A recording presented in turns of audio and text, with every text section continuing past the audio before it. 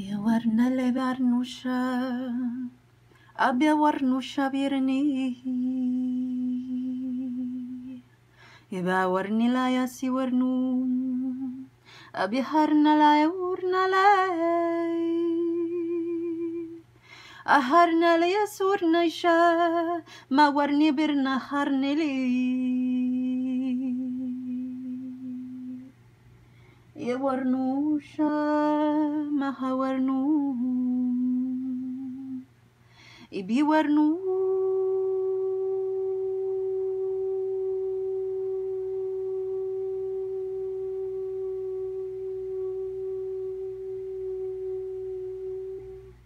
أوخر نور نلاب يورنو أتورنو شايرنا ليعيشا أمي هايرني ورنا لايرنا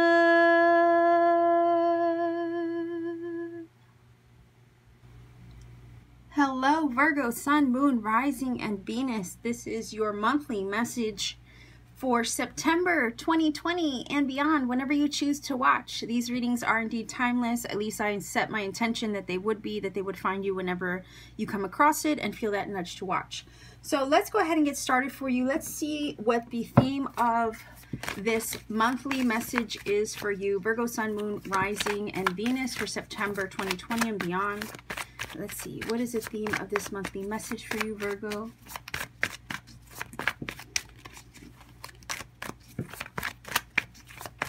card for Virgo, Sun, Moon, Rising, Venus signs.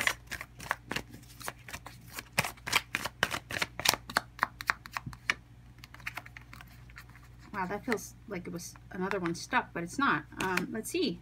All right, so it says the moon you will be guided through darkness. Okay, so what that's telling me is that even though things might seem a little uncertain at the moment, okay, there's going to be light at the end of the tunnel.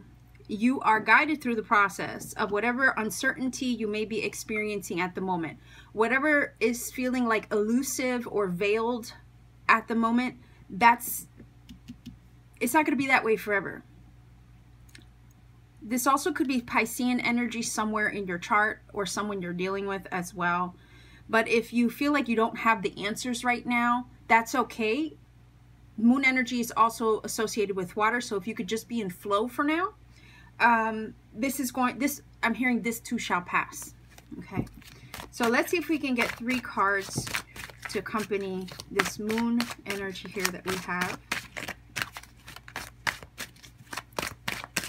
Okay.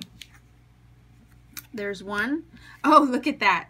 Now, this is pretty synchronistic. You have Anubis here with the Wheel of Fortune, and you also have him here. Okay, so again, God of the underworld. It's kind of like you're coming out from under. That's what I'm hearing with this. Okay, so let's see if we can get two more cards.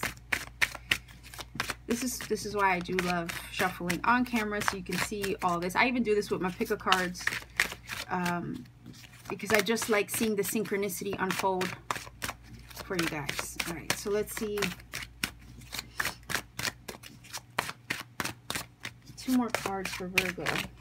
So we know you're going through a shift. We know you're going through a change. And that's kind of what I was picking up. At the moment, you're not really seeing things as far as where they will lead you, where they're going all right, where things seem kind of elusive or uncertain. That's part of the Wheel of Fortune's energy, to be honest. Uh, look at that. Ace of Pentacles, Seven of Pentacles. All right, so you're on the road to progress. I love this. This is really neat, okay? Because what this is saying is after you experience these changes, perhaps changes that are kind of leaving you feeling up in the air, you're entering a new phase and a new chapter here with the Ace of Pentacles. This is saying that there is, I don't know, I'm getting the Bible like metamorphosis that you're undergoing at the moment. You're you're going through a growth spurt or process that just has to um, run its course. It has to run its course. Um, a, another real cool synchronicity is you have you have roots here, right? And then you have them so significantly here as well. So there's a theme here in regards to a growth process. Okay. You can't have light without dark. You can't have dark without light. So it could be that some of you are actually getting out of a shadow period and coming and emerging into the light. Again, the Wheel of Fortune is an energy where it has to run its course. You have to kind of let it do its thing. You have to be in flow. Uh, it's sometimes called the called the Wheel of Change for a reason because these are changes that happen and you just have to let them you just have to let the universe turn the wheel for you because a lot of times it's trying to lead you into a better direction. And when that happens these shifts and changes happen uh, suddenly and unexpectedly we don't really know where with the moonlight right? We don't know where it's taking us. But if we can just flow with it and be in be in surrender mode to it it's usually going to lead us to something better. A lot of times the wheel of fortune is an energy where something falls off the wheel, right? In order to make room or space for something else to hop on. So it feels like you're shedding some old skin. We do have a snake there on the wheel. You're shedding some old skin, maybe some old facets of yourself, maybe aspects of your life that just aren't working anymore. And with the Wheel of Fortune, I would say let the universe take the wheel for now because at the end of the day, with this card, it's saying, look, you're going to be guided through the darkness. You're going to be guided out from under. You're headed into better things. We have this Ace of Pentacles that's trying to open up to you. It's an opportunity sometimes. Sometimes it's even an offer. It's something brand new. Could be a new house. Could be an engagement. Uh, there's a lot of different things that I can see in the Ace of Pentacles. But it's the foundation. It's the beginning of a brand new foundation for you you're setting down roots. You're in the process of growth. So with the Seven of Pentacles, it's saying, look, you're making progress. And sevens as a number do talk about, it's a very spiritual number, but it also talks about personal growth. So this is part of your evolution. This is part of your journey. And if you've overcome or just gotten out of situation that maybe wasn't helping you, if it's something ended in your life that just, you know, wasn't fitting the mold or fitting where you're going, that's why um, it ended because it, it doesn't really feel like it has a place to to where you're trying to to get to could be a person could be a job could be a mindset that wasn't working for you. But i feel like that energy's falling off and that's the end of a chapter and now here the ace of pentacles is that brand new door that's opening up to you. Think of it as like the universe trying to hand you that blessing hand you that that fresh start. And you have the choice here to embrace the fresh start, even though it may be slightly unfamiliar and things might seem a little bit eh, maybe hazy or confusing at the moment. Um, but you have the opportunity to kind of embrace that fresh start and allow it to unfold according to your destiny.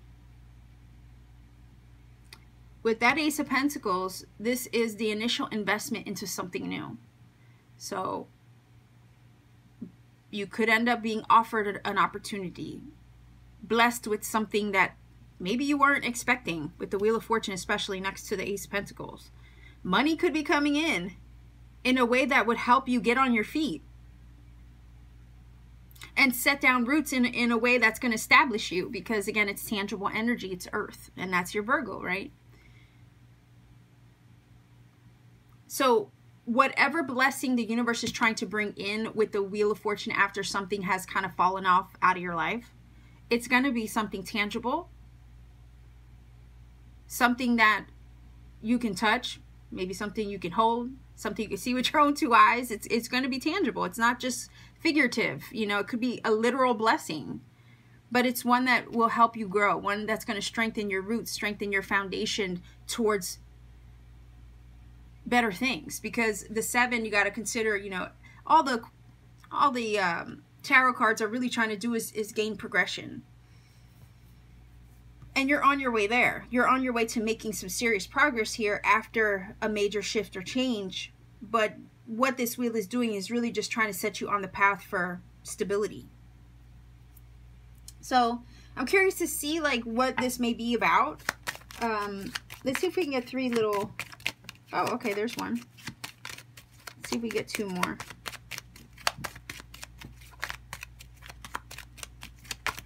So you're coming out of a difficult period, maybe something that was kind of uncertain to you, and, and now you're headed into like I'm feeling like this the light at the end of the tunnel is kind of showing itself now where you're not going to be questioning your path so much anymore moving forward is kind of what I'm getting from this because earth energy is based in reality. It shows you what it is, what it isn't. There's really not a lot of debate in that. So there's no more no more confusion after the moon energy and the wheel has kind of set your course right. So let's see. We have journey. Yeah. See, look, you're moving into something else. You're leaving something in the dust. You're leaving it behind. You're moving on. You're moving forward. You're focused. You're determined. You're headed somewhere else. Maybe you could be traveling literally to a new place. Maybe a new home with the Ace of Pentacles. Maybe traveling for work or traveling to a new job. Because all of this earth energy here. Look at that. Here goes the gift. Here goes the Ace of Pentacles revealing itself in a gift. So again, you're going where the blessing is. You're going where the gift is. It's like the universe handing you a gift. And I did say that here. Handing you a blessing, handing you a gift out of nowhere. It may come unexpectedly. And then when it does, you got to take action. You can't just sit on your butt. You got to move and you got to go claim the gift. Claim the blessing. Because whatever it is you're moving toward over here, you're moving towards something with the journey card, right? Whatever you're moving toward over here with, with the gift is something that's going to be reciprocal, right? Wow. Brand new energy with the baby. So could be a little baby. Uh, some of you could be birthing a new project if it's not a child or pregnancy, right? But you could be birthing a manifestation. You could be birthing a brand new chapter. So again, two energies that are brand new here for you. You're moving in the direction of your gift, of your blessing. Uh, this is brand new for you. You're getting a fresh start after maybe leaving something behind or something kind of leaving your life. Uh, either way, you're setting down roots in a way that are going to establish you for the long term. And you're making such progress, fast progress, because you go from an ace to a seven in a heartbeat. So you're on the move with the journey card, and there's really no stopping the direction that you're going in at this point.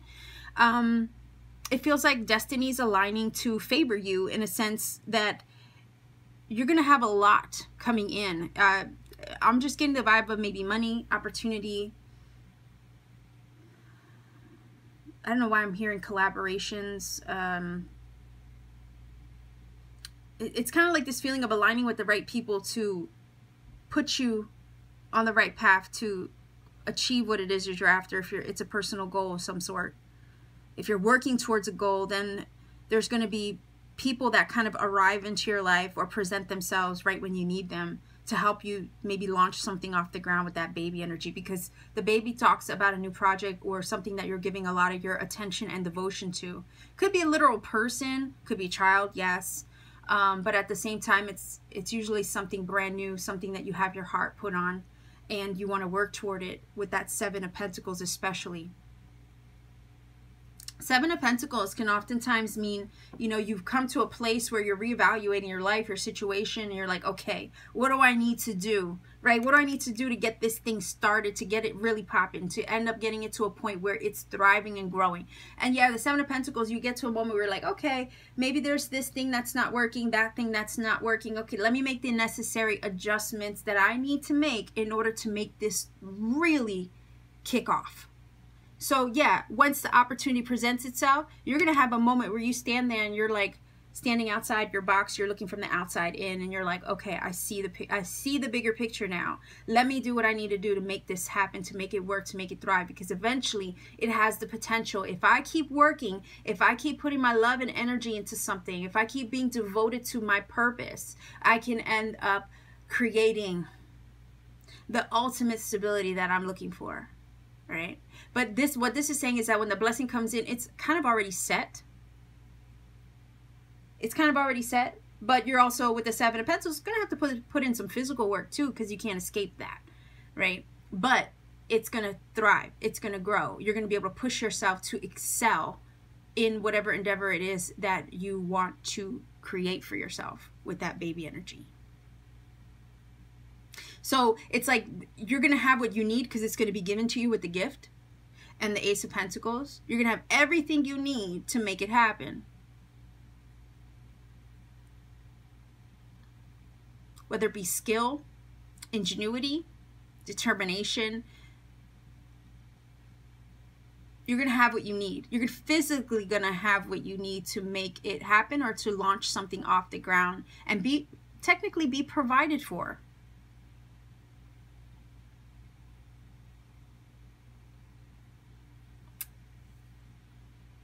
So I do love this energy because it's basically saying you're going to you're going to have a lot going for you pretty soon. And it's also feeling over here with the journey energy, you're going to have to be ready to move. And you're also going to have to be open and ready to receive because, again, universe is trying to hand you a gift, a blessing, an opportunity. You got to have your hands open and ready to receive. Spiritually, physically as well. You're going to be working hard towards something, but it's going to be to establish you for the future. It'll be new. It's going to take your devotion, obviously. But it's, I mean, children are legacy. So I'm, I'm getting the vibe of legacy. It's part of your legacy. Okay, Virgo. So whether it's, you know, a new home, a, a new job, a, a personal goal that you you're moving toward or moving in the direction of,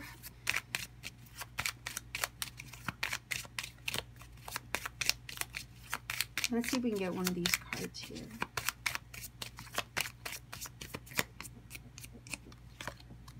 Okay, so look at all this earth energy.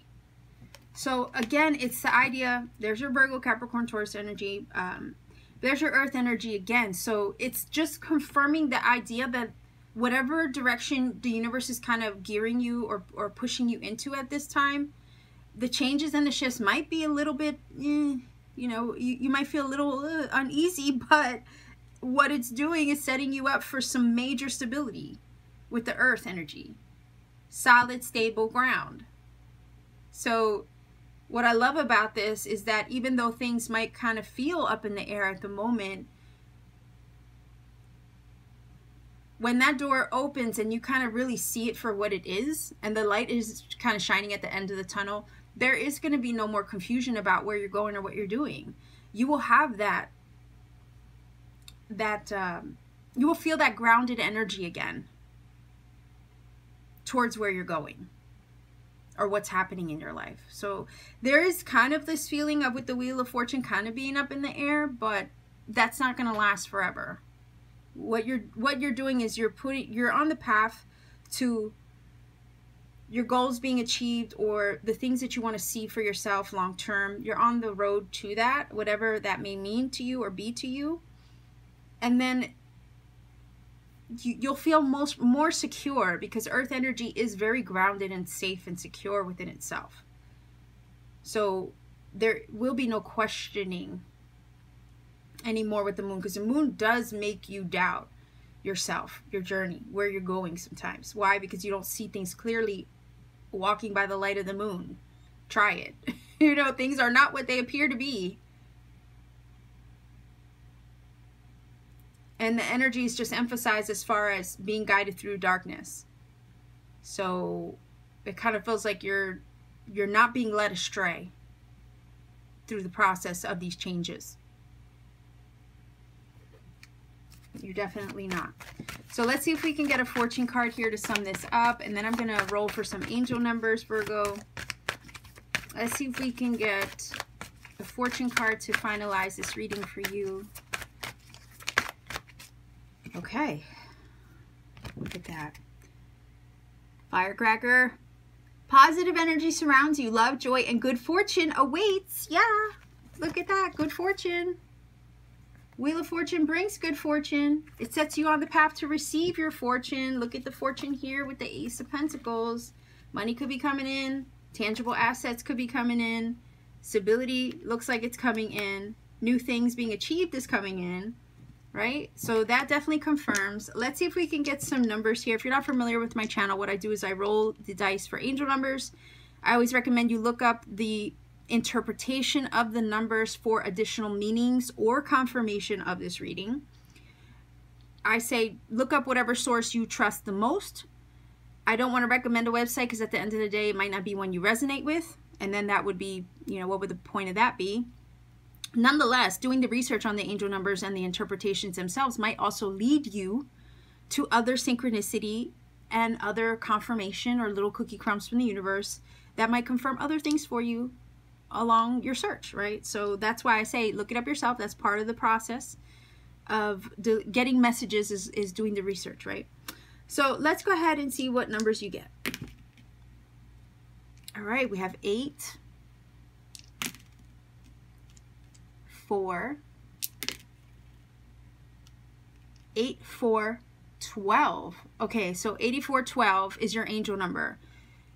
With angel numbers, you can, especially if there are more than three numbers, four or five, you can always break those down into a single digit. Okay, master numbers do not get broken down like a 22, a 33, or an 11. All right, so 8412 is your angel number. I'd be curious to see how that angel number relates for you. So if you feel that this has helped or connected for you, by all means, please do let me know in the comment section down below. Like this video, share this video if you want to support this channel. Subscribe if you haven't already.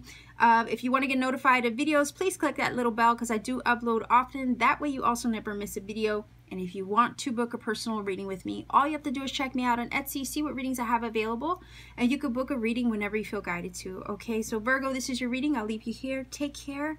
Keep shining.